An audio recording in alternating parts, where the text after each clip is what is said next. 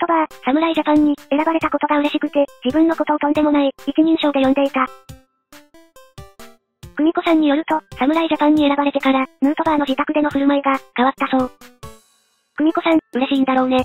自分のことを、侍ジャパンって呼んでいるから、侍ジャパンが来るよ、朝ごはん用意して、侍ジャパンお腹すいたとか、なんと普段から自分のことを、侍ジャパンと呼んでいるという。かわいい。これ可愛くて好き。侍ジャパン、かっこ一人称。嬉しいのは伝わるけど、わけわかんなくて草。あざとい。文字で読んだだけの、赤の他人のワイラですら可愛いって思うのにマッマからしたら、クソ可愛いやろな。味方になったヌートバー。敵だったことないやろ。考えてみればそうやんくさ。ヌートバー民、ウキウキで草。